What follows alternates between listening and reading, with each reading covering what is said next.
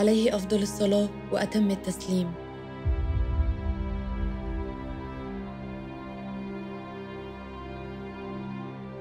خالي ليه علي حق البر. فكان أبويا وأمي والعقيل أخو زوجي المتوفي كل الاحترام. من أخت لأخيها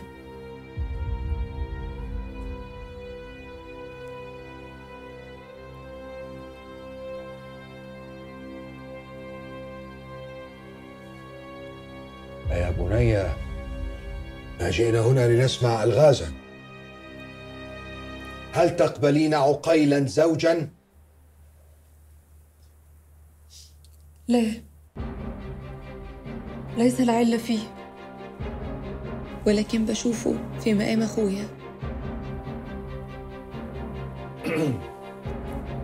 أما وقد جاء الجواب بينا فلننصرف. هيا يا جمال الدين وأنت يا عقيل. هيا بنا إلى المسجد.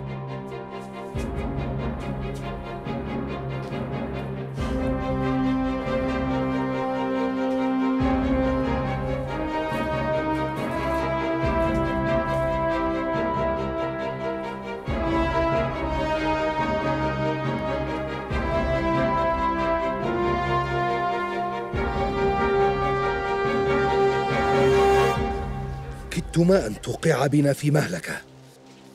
لكن الخطأ خطأي.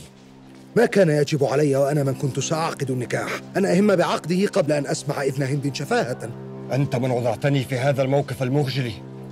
أليست هذه ابنة أختك التي تقول لي دوما إنها ابنتك؟ فلتهدأ يا عقيل. لقد وضعتني هند معك في المأزق ذاته فلا تحملني ما لا أحتمل.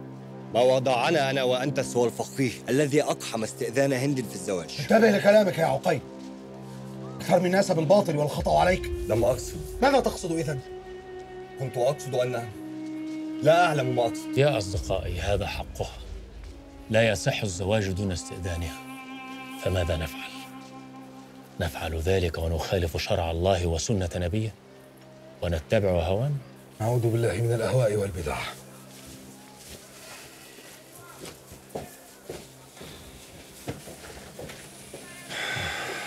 ليس من السهل على عقيل تقبل ذلك. عقيل ليس يشغلني. ما يشغلني أنه طالب علم يحضر دروسا ويعرف. ومع هذا كان يريد أن يتغافل عن معلوم له فما بالك بالعامة من الناس وأحوالهم وهل نقصر بتعليمهم في حلقاتنا يا إمام. العياذ بالله. ولكن العلم يظل حبيس الكتب. وإذا خرج منها يظل حبيسا لجدران ساحات العلم. وماذا بوسعنا أن نفعل؟ دلني. دلني يا إمام. أنت تعرفني. وتعرف أنه ليس أحب عندي من مناقشة العلم والتفكر فيه. ولكن الناس الناس الناس في بيوتهم يجب أن يكونوا آمنين بأحكام تضمن لهم حقوقهم ولا تسمح لأحد بأن يأخذ منهم شيئا ظلما. أحكام الله يعلمها القاصي والداني إذا كانوا يعلمون إذا فما الذي كان سيحدث للتو؟